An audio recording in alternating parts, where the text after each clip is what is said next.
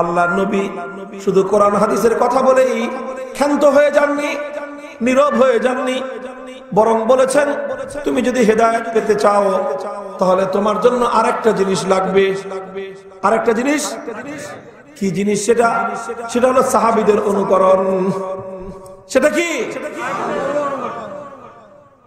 তাহলে হেদায়তের জন্য দুই জিনিস লাগবে।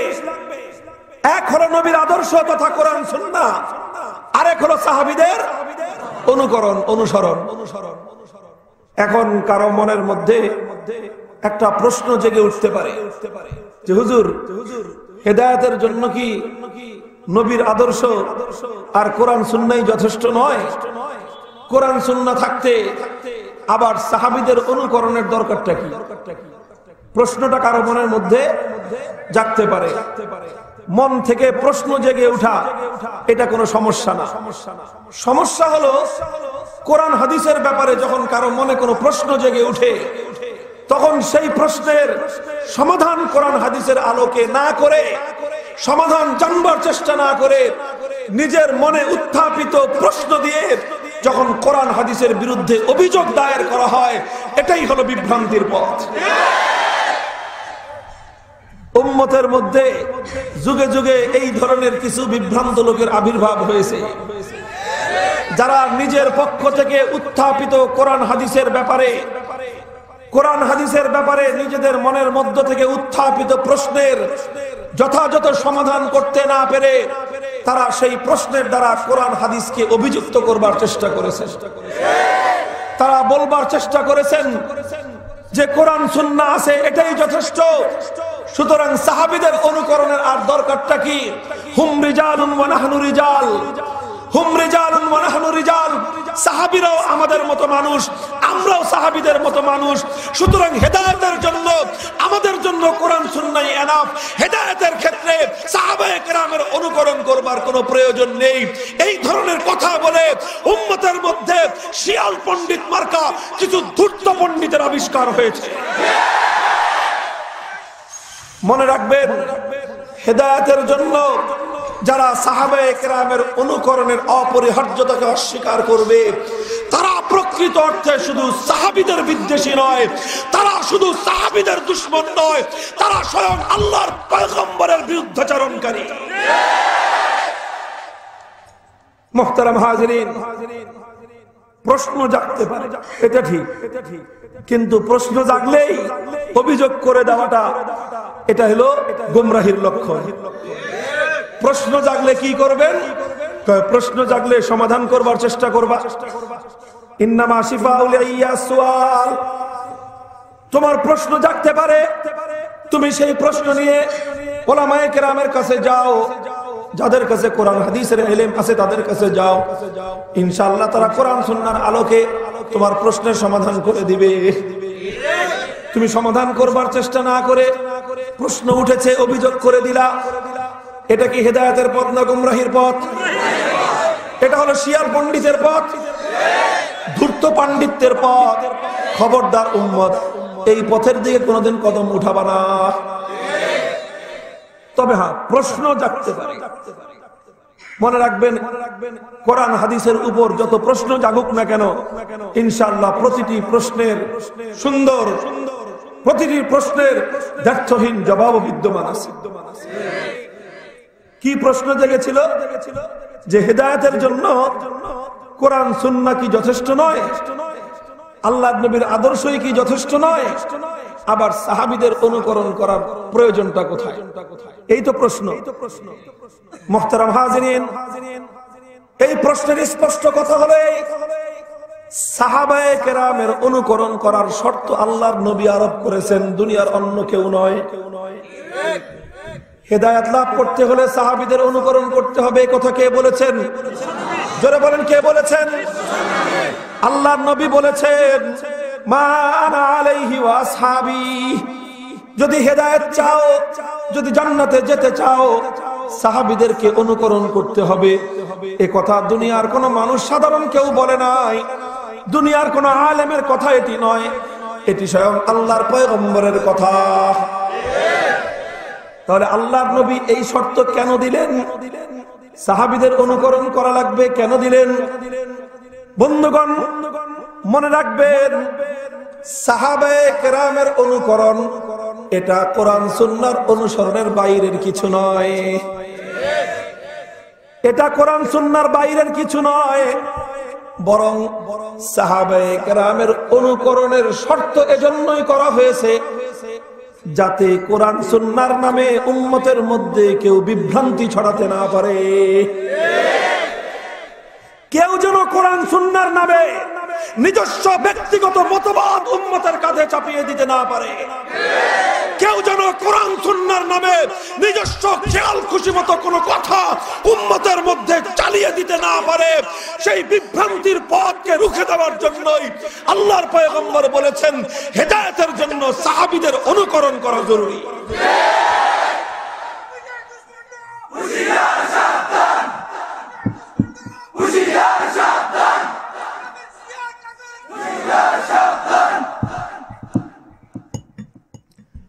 মোহতারাম হাজরিন, আমি বলছি অনুকরণ, এটি কোরআন সুন্নার অনুসরণের বাইরের কিছু নয়। বরং কোরআন সুন্নার মধ্যে যা কিছু বলা হয়েছে, কথা বুঝেন। কোরআন সুন্নার মধ্যে যা কিছু বলা হয়েছে সাহাবায়ে কেরাম সেটাই বাস্তবে পরিণত করেছেন। সাহাবায়ে কেরাম যা করেছেন, কোরআন সুন্নায় তাই বলা হয়েছে, কোরআন সুন্নায় যা বলা হয়েছে সাহাবায়ে কেরাম তাই করেছেন। সাহাবায়ে কেরামকে আল্লাহর কোরআন এবং নবীর সুন্নাহ অনুযায়ী, কোরআন সুন্নাহ অনুযায়ী সাহাবায়ে কেরামকে পরিচালনা করেছেন আল্লাহর পয়গম্বর। মোহতারাম হাজিরিন তাহলে কথাটা হলো সহজ। ছোট্ট একটা কথা। এই কথাটাকে আমি বিভিন্ন ভাবে বলবার চেষ্টা করতেছি। সেটা হলো হেদায়তের জন্য দুই জিনিসের প্রয়োজন। একটা হলো নবীর আদর্শের অনুসরণ আর একটা হলো সাহাবায়ে কেরামের অনুকরণ। এরপরে বললাম কি, যে সাহাবায়ে কেরামের অনুকরণ, এটা নবীর আদর্শের অনুসরণের চেয়ে ভিন্ন কোনো কিছু নয়। বরং ওই কথাটাই ভিন্নভাবে বলা হয়েছে। যদি আরেকটু সহজ ভাবে আমি বলতে চাই, তাহলে আমি বলতে পারব যে কোরআন সুন্নার মধ্যে আল্লাহর পয়গম্বরের কথাগুলো থিওরি আকারে বর্ণিত হয়েছে, আর সাহাবা একরামের জীবনে সেটা প্র্যাকটিক্যাল ভাবে বাস্তবায়িত হয়েছে। কোরআন সুন্না, এটা হলো নবীর আদর্শের থিওরি। সাহাবা একরামের জীবন, এটা হলো নবীর আদর্শের প্র্যাকটিস। মোহতারাম হাজরিন, থিওরি আর প্র্যাকটিস ভিন্ন ভিন্ন কিছু নয়, বরং থিওরির মধ্যে যা বলা হয়, প্র্যাকটিসের মধ্যে সেটাই ফুটে উঠে। থিওরির মধ্যে যা কিছু ব্যক্ত করা হয়, প্র্যাকটিসের মধ্যে সেটাই বাস্তবায়িত হয়। ছোট্ট একটা দৃষ্টান্ত দেই। মনে করেন, একজন মানুষ ইমান গ্রহণ করল, একজন মমিন ইমান গ্রহণ করবার পর তার উপর আল্লাহ পাক রব্বুল আলামিনের পক্ষ থেকে সবচেয়ে গুরুত্বপূর্ণ যেই বিধানটি আরোপিত হয়, সেই বিধানের নাম কি? নামাজ কি নাম? ইমানের পরে মুমিনের জন্য সবচেয়ে গুরুত্বপূর্ণ বিধান কি? নামাজ পড়তে বলা হলো, নামাজ পড়তে বলা হলো। আপনি এবার নামাজ কীভাবে পড়বেন? নামাজ আপনি কীভাবে পড়বেন? ও দোস্ত, নামাজের কথা কোরআনেও আছে, সলাতের কথা কোরআনেও আছে সলাৎ বলেন, নামাজ বলেন, ভাষার পার্থক্য। নামাজ এবং সলাতের কথা কোরআনেও আছে, নামাজের কথা হাদিসেও আছে। কিন্তু দোস্ত, তুমি শুধু কোরআন, হাদিস পড়ে নামাজ পরিপূর্ণভাবে আদায় করতে পারবা না। যতক্ষণ পর্যন্ত তুমি নামাজের প্র্যাকটিক্যাল নমুনা না দেখবা। আমি তোমাকে বললাম, খুব ভালো করে বললাম যে দেখো, নামাজ পড়বা কীভাবে? প্রথমে তকবীরে তাহারিমা বাঁধবা, তারপরে হাত বাঁধবা, তারপরে সুরা ফাতিহা পড়বা, তারপরে সুরা মেলাবা, তারপরে রুকু করবা রুকুতে তসবি পড়বা, তারপরে রুকু থেকে দাঁড়াবা, তারপরে আবার শেষদায় যাবা শেষদায় তসবি পড়বে, তারপরে শেষদা থেকে আবার উঠবে, আবার শেষদায় যাবে, তসবি পড়বে, আবার আল্লাহ আকবর বলে উঠবে, এভাবে দুই রাকাত পড়বে, তারপরে বসবে, কিছুক্ষণ পরে সালাম ফিরাবে। এটা হলো নামাজের বিবরণ। এটা হলো নামাজের থিওরি। কিন্তু বন্ধু, এই থিওরি শুনে একজন মানুষ কশ্চিন কালেও একজন মুসলমান ন মুসলিম একজন ন মুসলিম যে মাত্র ইসলাম গ্রহণ করেছে, কোনদিন নামাজ দেখে নাই। শুধু এই বিবরণ শুনে কশ্চিন কালেও সে পরিপূর্ণ নামাজ শিখতে পারবে না? নামাজ যদি তাকে শিখতে হয়, তাহলে শুধু বলে, শুধু শুনে পারবে না, শুধু পড়ে পারবে না। বরং নামাজ পড়তে হলে তাকে নামাজের প্র্যাকটিক্যাল নমুনা দেখতে হবে।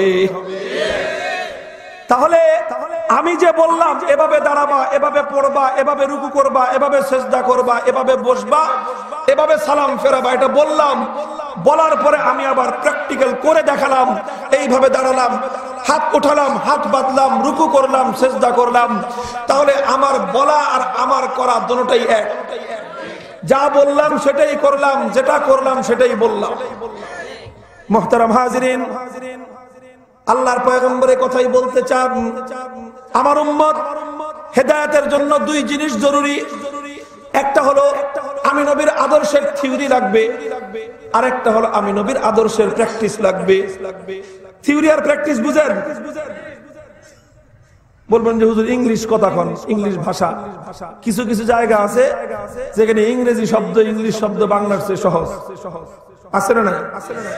চেয়ার আর কেদারা, একটা ইংলিশ আর একটা বাংলা, সহজ কোনটা? চেয়ারটা সহজ, ইংলিশটা সহজ, বাংলাটা স্কুল আর বিদ্যালয়, সহজ কোনটা? স্কুল ইংলিশ, বিদ্যালয় হলো বাংলা। বাংলা তাহলে সহজ হলো কোনটা? ইংলিশটা এখানে সহজ। আবার অনেক সময় আরবিটাও সহজ হয়। মাদ্রাসা, শিক্ষা প্রতিষ্ঠান, সহজ কোনটা মাদ্রাসা। মাদ্রাসা হলো আরবি, শিক্ষা প্রতিষ্ঠান হলো বাংলা, সহজ কোনটা আরবিটাই এখানে সহজ। কথা ঠিক কিনা? থিওরি। থিওরি মানে হলো মতবাদ। প্র্যাকটিস, প্র্যাকটিক্যাল নমুনা মানে হলো কার্যক্ষেত্রের বাস্তব অনুশীলন। তাহলে এখানে বাংলাটার চেয়ে ইংলিশটাই সহজ। সহজ তাহলে আল্লাহর পয়গম্বর বলতে চাচ্ছেন, নবীজি বললেন, যদি হেদায়ত চাও, হে আমার যদি হেদায়তের পথে চলতে চাও, দুই জিনিস লাগবে। কয় জিনিস? এক নম্বর লাগবে নবীর আদর্শের থিওরি। দ্বিতীয় নম্বর লাগবে নবীর আদর্শের প্র্যাকটিস। নবীর আদর্শের থিওরি এবং প্র্যাকটিস দুটো যখন একত্রিত হবে, তখনই তুমি পূর্ণাঙ্গ হেদায়ত লাভ করতে পারবে। মোহতারাম হাজরিন, নবীর আদর্শের থিওরি তুমি পাবে কোথায়? নবীর আদর্শের থিওরি পাওয়া যাবে কোরআন হাদিসের পাতায় পাতায়। কোথায় পাওয়া যাবে থিওরি? জোরে জোরে বরং নবীর আদর্শের থিওরি পাওয়া যাবে কোথায়? কোরআন হাদিসের পাতায় পাতায়। আর নবীর আদর্শের প্র্যাকটিক্যাল নমুনা পাওয়া যাবে কোথায়? সাহাবায়ে কেরামের জীবনের পরতে পরতে। তাহলে হেদায়েতের থিওরি পাওয়া যাবে কোরআন হাদিসের পাতায় পাতায়। আর হেদায়েতের প্র্যাকটিক্যাল নমুনা পাওয়া যাবে সাহাবায়ে কেরামের জিন্দগিতে। মুখতারাম হাজিরিন এই জন্যই আমি বলেছিলাম, সাহাবায়ে কেরামের অনুকরণ, এটা কোরআন সুন্নার চেয়ে ভিন্ন কোনো পথ নয়। বরং কোরআন সুন্নার মধ্যে যা বলা হয়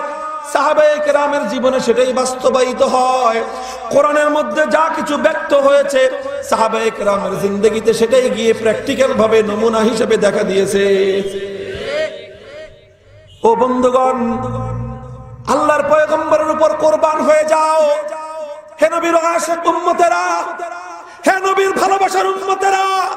জীবনটাকে নবীর জন্য উৎসর্গ করে দাও।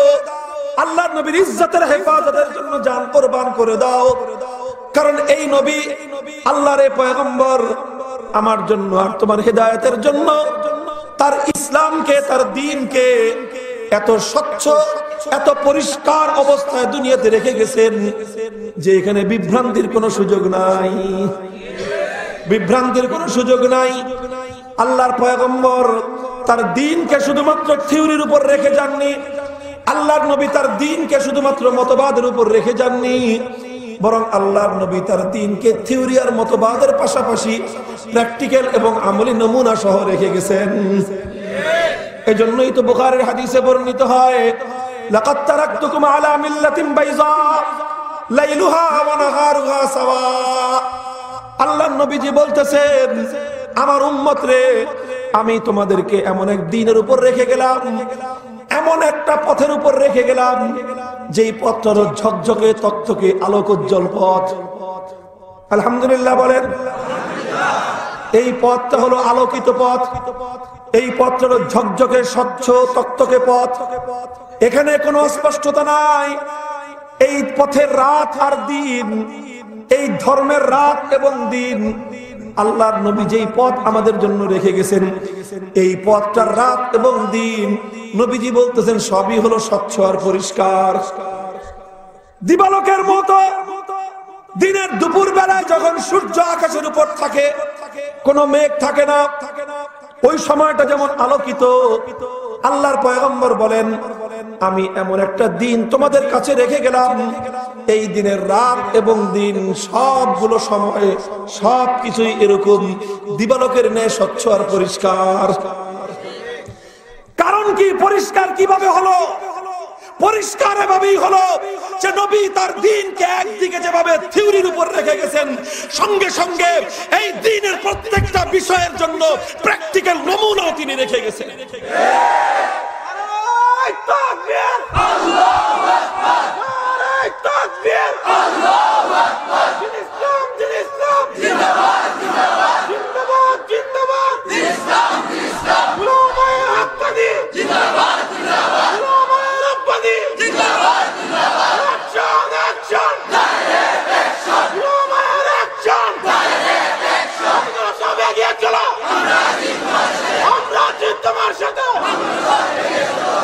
মোহতারাম হাজরেন।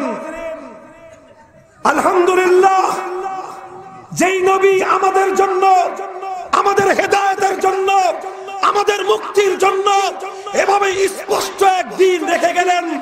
আর এই দিনের প্রত্যেকটা বিষয় একদিকে কোরআন হাদিসের মধ্যে বিশদ বিবরণ রেখে গেলেন থিওরিক্যাল ভাবে রেখে গেলেন, আবার এই দিনের প্রত্যেকটা খুঁটিনাটি বিষয়ের প্র্যাকটিক্যাল নমুনার জন্য ষোলো লক্ষ সাহাবে কেরামকে জিন্দা নমুনা হিসেবে রেখে গেলেন। সেই পয়গম্বরের জন্য জান উৎসর্গ করবার দরকার আছে না নাই?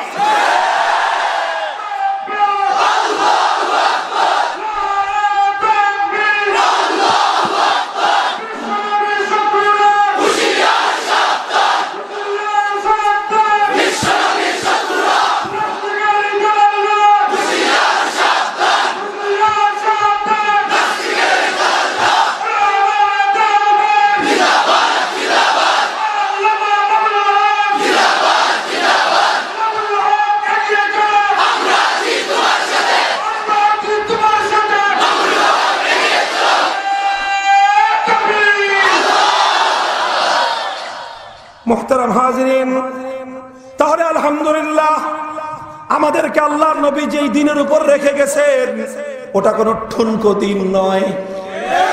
ওটা কোনো দুর্বল আদর্শ নয়।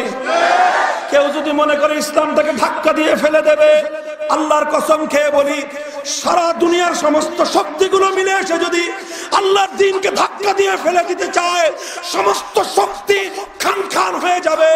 আল্লাহর দিন যে অবস্থায় দাঁড়িয়ে আছে এক চুল পরিমাণ নাড়ানো সম্ভব নয়। আল্লাহর দিনের এই শক্তির প্রধান উৎস হলো এই যে আল্লাহর রসুল তার দিনকে শুধু মতবাদের উপর রেখে যাননি। আল্লাহর পয়গম্বর দুই জিনিস রেখে গেছেন। কোরআন সন্ন্যার থিওরি রেখে গেছেন। আবার কোরআন সন্ন্যার থিওরি দিয়ে যেন কেউ, কোরআন সন্ন্যার ভুল ব্যাখ্যা দিয়ে যেন কেউ, আল্লাহর কোরআন এবং নবীর সন্ন্যার মন গড়া ব্যাখ্যার মাধ্যমে কেউ যেন উম্মতকে বিভ্রান্ত করতে না পারে, উম্মতকে যেন মিসগাইড করতে না পারে, উম্মতকে যেন গোমরাহ করতে না পারে এই জন্য আল্লাহর পয়গম্বর সাহাবিওয়ালা প্র্যাকটিক্যাল নমুনা রেখে গেছেন। প্র্যাকটিক্যাল নমুনা রেখে গেছেন যেন কেউ ভণ্ডামি করে ইসলামের নামে ভণ্ডামির কোন পথ আবিষ্কার করতে না পারে। কথা ঠিক? কথা ঠিক। তাহলে ইসলাম এই দুই বুনিয়াদের উপর একদিকে ইসলামের মতবাদ, একদিকে ইসলামের থিওরি, কোরআন সুন্নার পাতায় পাতায়, আরেকদিকে ইসলামের প্র্যাকটিস আল্লাহর পয়গম্বরের নুরানি সাহাবে কেরামের জামাতের জীবনের পরতে পরতে। এই দুই জিনিস সমন্বয় করে আল্লাহর নবীকে যখন জিজ্ঞাসা করা হলো, ও নবী, হিদায়াতের পথের পরিচয় কি? নবীজি এ কথাই বললেন, মান আলাইহি মান আলাইহি এই কথার দীর্ঘ ব্যাখ্যার মাধ্যমে অর্থ কি দাঁড়াল? মান আলাইহি মানে হলো যাদের কাছে আমি নবীর আদর্শের থিওরিও থাকবে, আবার যাদের কাছে আমি নবীর আদর্শের সাহাবি ওয়ালা নমুনা অর্থাৎ প্র্যাকটিসও থাকবে। এই দুটোকে যারা ধারণ করবে, ইনশাআল্লাহ কশ্চিন কালেও তাদেরকে কেউ মত পথ ভ্রষ্ট করতে পারবে না। এই প্র্যাকটিক্যাল নমুনার কারণেই আলহামদুলিল্লাহ আল্লাহর এই দিনের মধ্যে যত বিভ্রান্তিকারী এসেছে যত যত পণ্ডিত এসেছে, যত গুমরাহি সৃষ্টিকারী এসেছে, বিগত চোদ্দশো বছরে যারা যখন আল্লাহর দিনের নামে ভণ্ডামি করতে এসেছে, সকলের মুখোশ খুলে পড়ে গেছে। মুখোশ ধরে রাখতে পারেনি, কারণ কোরআন হাদিসের কথা কেউ নিয়ে এসেছে। তখন সাহাবিওয়ালা প্র্যাকটিক্যাল নমুনার মাধ্যমে ধরা খেয়ে গেছে। আবার কেউ কিছু প্র্যাকটিক্যাল নমুনার কথা নিয়ে এসেছে। কোরআন সুন্নার থিওরির মাধ্যমে ধরা খেয়ে গেছে। আলহামদুলিল্লাহ। দোস্ত, আজও যারা ভণ্ডামি করতেছে এবং ভবিষ্যতেও যারা ভণ্ডামি করবে ইনশাল্লাহ কোরআন সুন্নার মাধ্যমে সাহাবে একরামের জীবনের প্র্যাকটিক্যাল নমুনার মাধ্যমে প্রত্যেকটি ভণ্ডামি চিহ্নিত হয়ে যাবে। তাহলে এই হেদায়ত হেদায়তের জন্য, সরল এবং সঠিক পথে চলবার জন্য দুই জিনিসের দরকার। এক হলো নবীর আদর্শের থিওরি, যেটা কোরআন হাদিসের পাতায় পাতায় পাওয়া যায়। আর দ্বিতীয় হলো নবীর আদর্শের প্র্যাকটিস, যেটা সাহাবে একরামের জীবনের পরতে পরতে পাওয়া যাবে। এই দুই জিনিসকে শক্ত হাতে মজবুত ভাবে জীবনের শেষ মুহূর্ত পর্যন্ত বুকের সঙ্গে জড়িয়ে রাখতে প্রস্তুত আছেন তো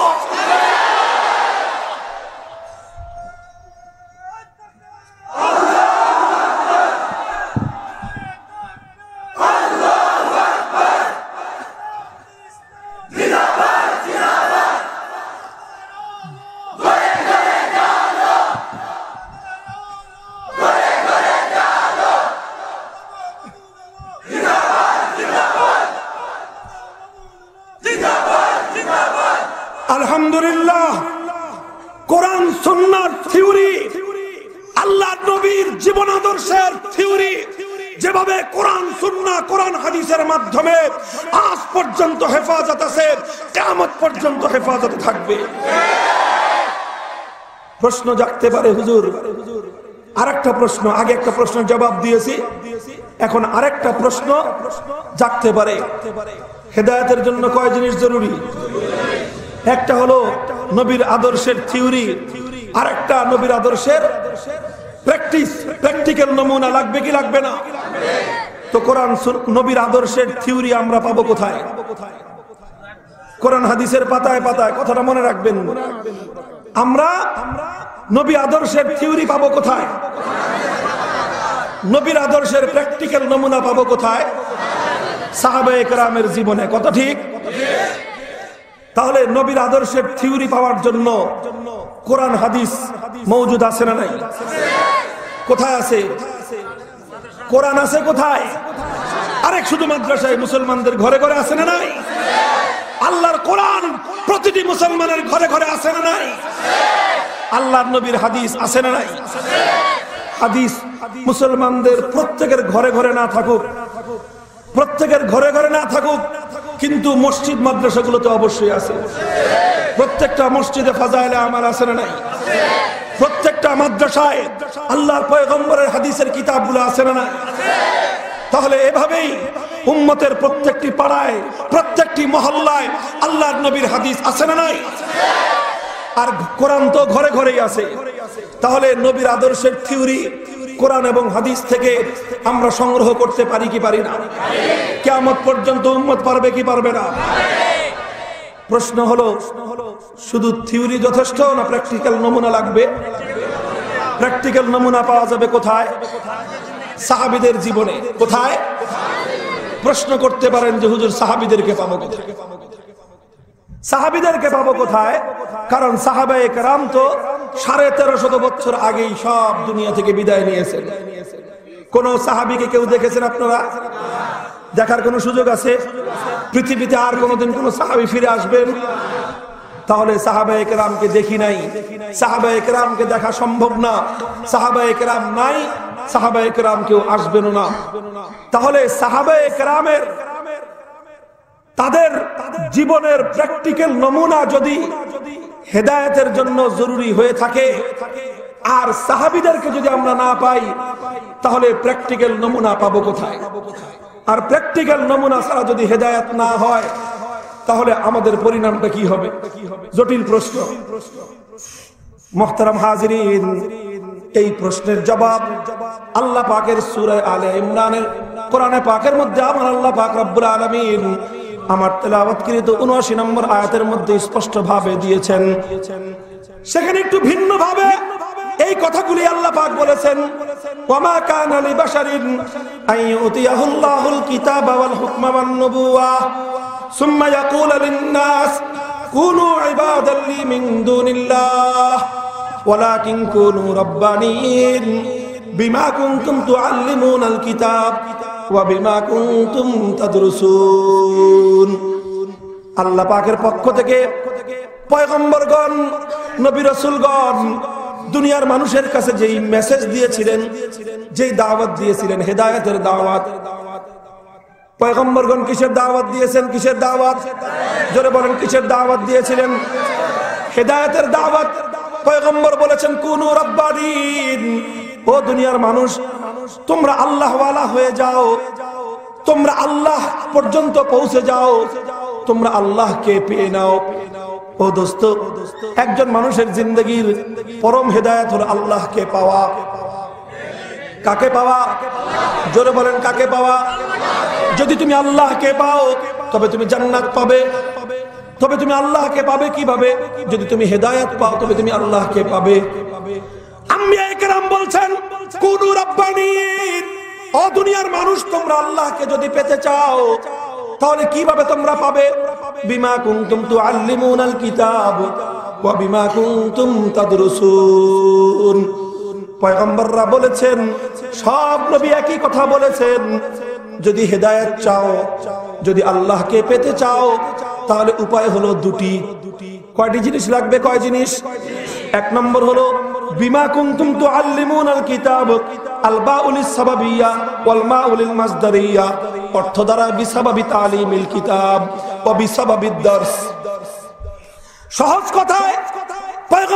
বলেছেন যদি হেদায়েত চাও, উপায় হলো কি?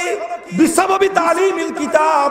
তোমার এক নম্বর লাগবে হলো কিতাবুল্লাহর ইলম কি লাগবে কি লাগবে? যদি কেউ আল্লাহকে পেতে চাও, তাহলে কিতাবুল্লাহর এলেমের ডাকে সাড়া দিতে হবে। কিসের ডাকে সাড়া দিতে হবে?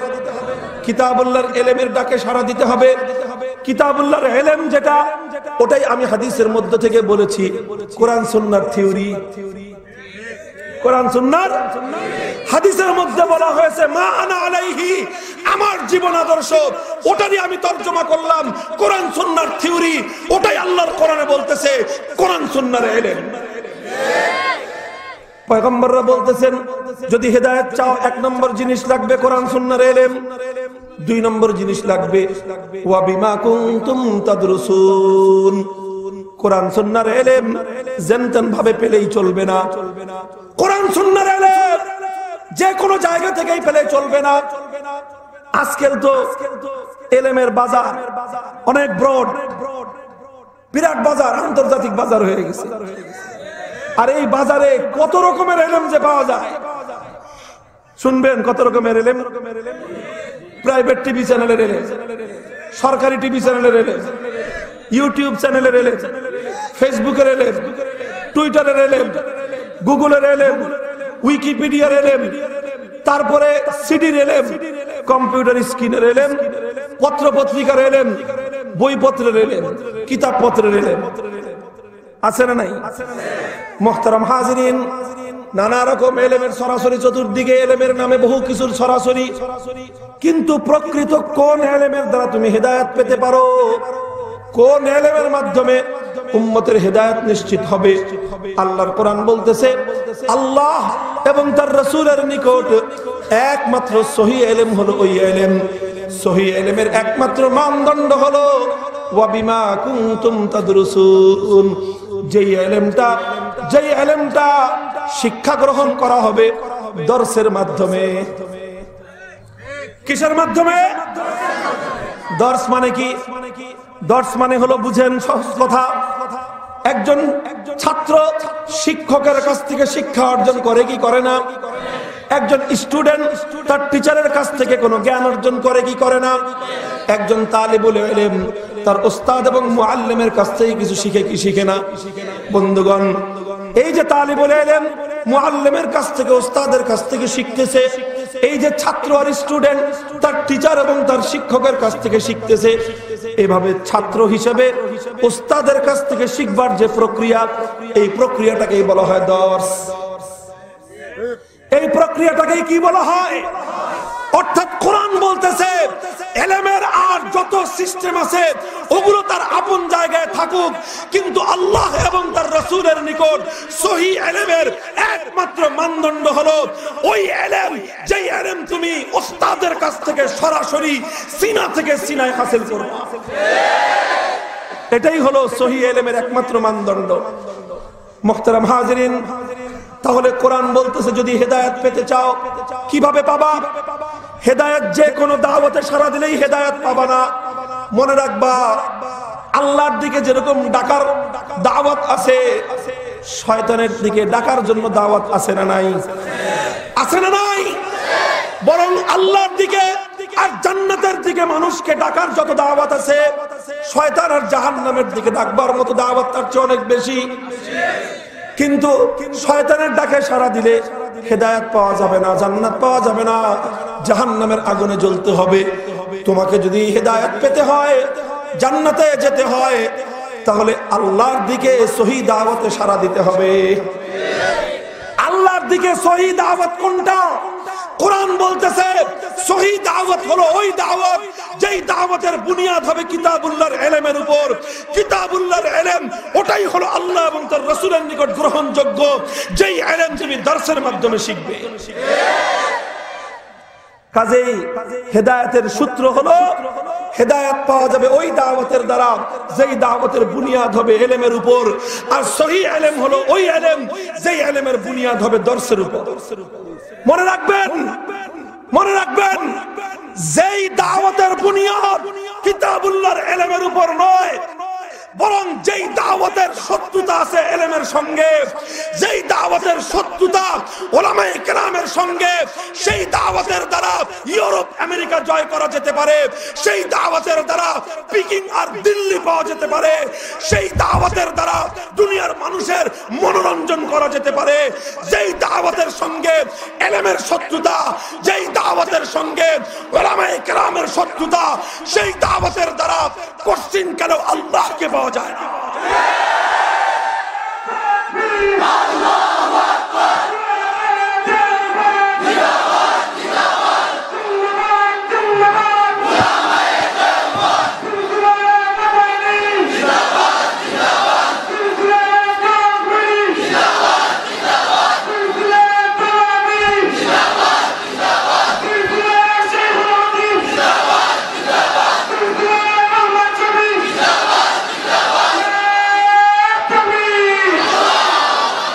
মোহতারাম হাজরিন আমি আমার সর্বশেষ কথায় চলে এসেছি। বলেছিলাম, যদি কেউ হেদায়েতের উপর চলতে চাও, কয় জিনিস জরুরি? এক নম্বর হলো নবীর আদর্শের থিওরি। পাওয়া যাবে কোথায়? কোরআন হাদিসের পাতায় পাতায়। দুই নম্বর হলো নবী আদর্শের প্র্যাকটিক্যাল নমুনা পাওয়া যাবে কোথায়? মুখস্থ হয়েছে কথা? প্রশ্ন ছিল, হুজুর সাহাবিরা তো তেরোশো, সাড়ে তেরোশো বছর আগে বিদায় নিয়েছেন। এখন আমরা সাহাবিদের প্র্যাকটিক্যাল নমুনা পাবো কোথায়? এই প্রশ্ন ছিল, এই প্রশ্নের জবাব দিয়েছে আল্লাহর কোরআনের আয়াত বিমা কুনতুম তাদরুসুন। কি জবাব দিল? জবাবের সার কথা হলো এই, সাহাবায়ে কেরাম নাই, চলে গেছেন ঠিক, কিন্তু আলহামদুলিল্লাহ সাহাবায়ে কেরাম এমনিতেই দুনিয়া থেকে বিদায় নেননি। বরং আল্লাহর নবী স্বলক্ষ সাহাবিকে হাতে কলমে আল্লাহর দিনের প্রত্যেকটি অক্ষর অক্ষর শিক্ষা দিয়েছিলেন। তেইশ বছর পর্যন্ত সাহাবিদেরকে নবীজি নিজ হাতে শিখিয়েছেন, প্র্যাকটিক্যাল শিখিয়েছেন। কথা ঠিক? নবীজি বিদায় নেওয়ার আগে সাহাবিদেরকে বলে গেছেন, বল্লিগু আন্নি ওয়ালাওয়ায়া। খবরদার আমার সাহাবিরা, আমি যা কিছু তোমাদেরকে শিখিয়ে গেছি, এগুলো বুকের মধ্যে ভরে রেখে কবরে যাব না। সব মৃত্যুর আগে আমার পরবর্তী উম্মতের কাছে পৌঁছায় দেবা। নবীজি বলেছেন, মান সুইলা আন ইলমিন আলিমাহু, সুম্মা কাতামাহু, উলজিমা ইয়াউমাল কিয়ামাতি বিলিজামিন মিন নার। ও আমার সাহাবীরা, আমার পক্ষ থেকে তোমাদেরকে যেই প্র্যাকটিক্যাল ইলম শেখানো হয়েছে, ওই ইলম যদি তোমরা পরবর্তীদের কাছে না পৌঁছায় দাও, তাহলে যদি এভাবেই মৃত্যুবরণ করো, কিয়ামতের দিন জাহান্নামের আগুনের লাগাম পরায় দেওয়া হবে। এজন্য সোলক্ষ সাহাবে একরামের মধ্যে প্রত্যেকেই নবীর কাছ থেকে যা কিছু শিখেছিলেন, অক্ষরে অক্ষরে প্রত্যেকটা বিষয় তারা তাদের পরবর্তী প্রজন্ম তাবেঈন একরামকে হাতে কলমে শিক্ষা দিয়ে গেছেন। আলহামদুলিল্লাহ বলেন, লক্ষ লক্ষ তাবেঈন যারা সাহাবীদের থেকে প্র্যাকটিক্যাল শিখে রেখেছেন। তো আলহামদুলিল্লাহ সাহাবা একরাম চলে যাওয়ার পরেও সাহাবিদের প্র্যাকটিক্যাল নমুনা থাকল কি থাকল না? কয় হুজুর, তাবেঈদের পরে আলহামদুলিল্লাহ তাবেঈরাও মৃত্যুর আগে এলেম গোপন কেউ করেন নাই, কেউ এলেম গোপন করেন নাই, কেউ এলেম লুকায় রাখেন নাই, কারণ এলেম লুকায় রাখা সবচেয়ে বড় আমানতের খেয়ানত। এই জন্য প্রত্যেকজন তাবেই যার কাছে যা এলেম ছিল, যার কাছে সাহাবে একরাম থেকে যে যা শিখেছিলেন তাবে তাবেইদেরকে লক্ষ লক্ষ লক্ষ লক্ষ তাবে তাবেইদেরকে তারা শিখিয়ে দিয়ে গেছে। এইভাবে তবে তবে এরাও মারা গেছেন। তবে মৃত্যুর আগে তারা তাদের পরবর্তী প্রজন্মের কাছে আল্লাহর কোরআন এবং নবীর সুন্নার সমস্ত এলেমগুলো প্র্যাকটিক্যাল সমস্ত নমুনা গুলো তারা তাদের পরবর্তীদেরকে শিখিয়ে দিয়ে গেছেন। এইভাবে সাহাবায়ে কেরাম থেকে নিয়ে আজ পর্যন্ত হক্কানি ওলামা একরামের সিলসিলার মাধ্যমে ইয়াহমিলু হাযাল ইলমা আন কুল্লি খলাফিন উদুলুহু, ইয়াহমিলু হাযাল ইলমা আন কুল্লি খলাফিন উদুলুহু। প্রত্যেক যুগের হক্কানি, রব্বানি, ইনসাফগার, সত্যবাদী ওলামা একরাম তাদের পূর্ববর্তী প্রজন্মের কাছ থেকে সাহাবিওয়ালা প্র্যাকটিক্যাল নমুনা অক্ষরে অক্ষরে শিখে রেখেছেন। এজন্যই ওলামা একরামের মাধ্যমে পুরা উম্মত আল্লাহর দিনের যে কোনো প্রশ্ন করবে, ইসলাম সম্পর্কে যা কিছু জানতে চাইবে, কোরআন হাদিস থেকে থিওরি পাবে এবং ওলামা একরামের কাছ থেকে তার প্র্যাকটিক্যাল নমুনা পাবে। জানতে চান কীভাবে আল্লাহর নবী তকবীর তাহরিমায় হাত উঠিয়েছেন? আলহামদুলিল্লাহ, হাক্কানি ওলামায়ে কেরাম আপনাকে শুধু কোরআন এবং হাদিস থেকে পড়াবে না, বরং প্র্যাকটিক্যাল নমুনা দেখায় দিবে। নবীজি হাত কীভাবে উঠাতেন? আপনি রুকু করতে চান, শুধু কোরআন হাদিস পড়াবে না, ওলামায়ে কেরাম দেখিয়ে দিবে আল্লাহর পয়গম্বর কীভাবে রুকু করা শিখিয়েছেন, সাহাবায়ে কেরাম তাবেঈদেরকে শিখিয়ে গেছেন, তাবেঈন কেরাম তাবে তাবেঈদেরকে শিখিয়ে গেছেন। এভাবে শিখাতে শিখাতে আজ পর্যন্ত ওলামায়ে কেরামের কাছে পুরা দিনের প্র্যাকটিক্যাল নমুনা জিন্দা আছে না কিয়ামত পর্যন্ত এভাবেই জিন্দা থাকবে, আলহামদুলিল্লাহ।